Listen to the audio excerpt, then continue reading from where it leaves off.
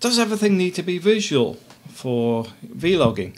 I would say podcasting is also an interesting route because you have a lot of people use my recordings in the car and things like that. They're using them while they're driving around. They're not actually watching me face to face.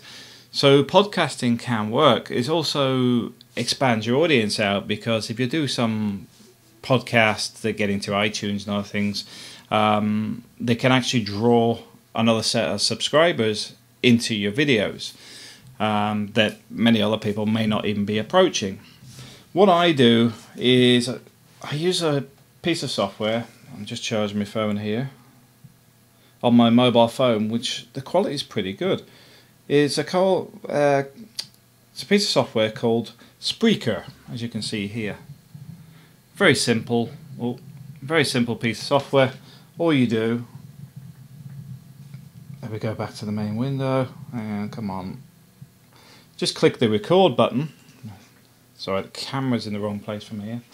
Uh, just click the record button. Oh and it's recording the audio. So if you turn around and put a good microphone on this, I mean the phone one's not too bad. If you go to my uh, podcast, you'll actually hear the quality off this phone, which is a Samsung Note. But it's recording away at the moment, and when you finished, you just press stop. Well, it's paused it, then press stop, and it puts it in your draft, like here. It's really hard for you guys to see this.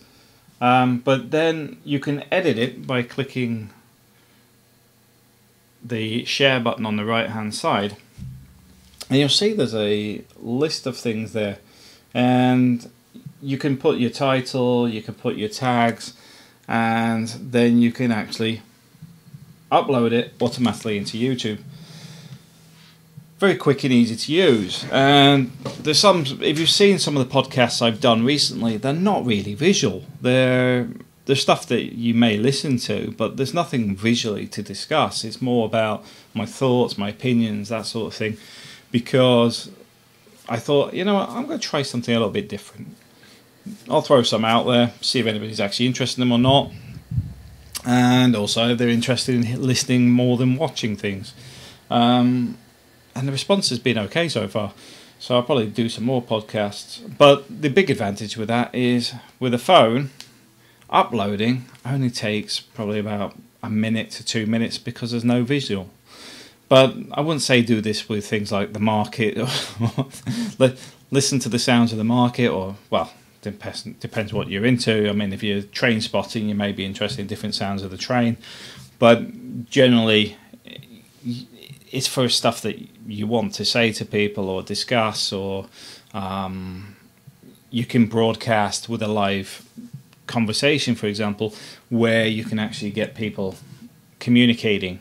Which, if you reduce the video bandwidth, you have more scope to get better sound quality, better um, communication because I can't manage the Google Hangouts, for example, on my internet connection. It just dies. So this is quite a useful tool for that sort of thing. Um, but also, you can actually download the list of my videos, or well, ideally, don't download my videos unless you're actually going to um, contribute in some way. Um, what I mean, it doesn't always have to be financial, but I, I do not make money on podcasts. They're purely me sharing my thoughts and opinions and stuff. Um, they're not monetized there are, I think with you iTunes and stuff because of the way it's set up, they want you to pay um, for subscriptions and whatever. I'm not really into that. I'd much rather if you if you enjoy it and think it's worth something, just send me 50, 50 centavos or something. I'm not really fast. Um, but the money that I get from all the video stuff ends up going back into video somewhere um, or audio. You know, for example, I don't know. I've, I've, got most of my equipment now. I can't really say I'll, more equipment because I think we've pretty much got everything we need. Um, probably more going out uh, recently is probably making us more proactive in traveling around.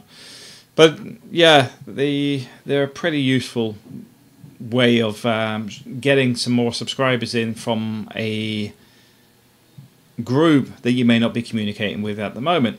They may be unaware of you. I mean, I'll be honest with you, I don't hunt people's websites down and go, oh, I'll have a look at their YouTube channel.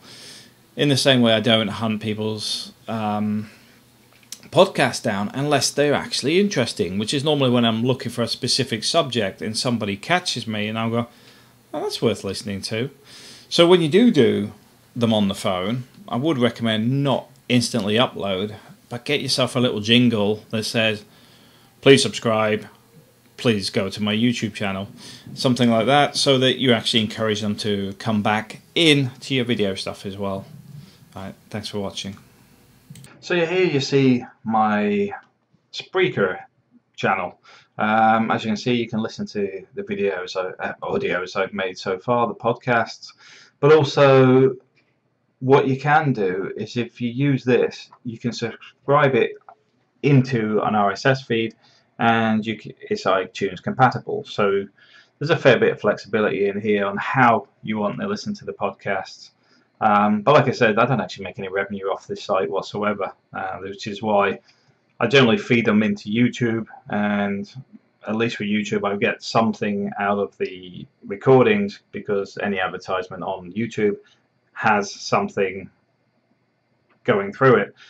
These don't have any adverts whatsoever, but I know some people have requested can I do some uh, broadcasts that they can get onto their phone, share with other people, etc. This is where you'll grab them. This is um, Spreaker.com stroke show stroke Wilkie minus sign Matt's stroke tracks and you'll actually get all my audio.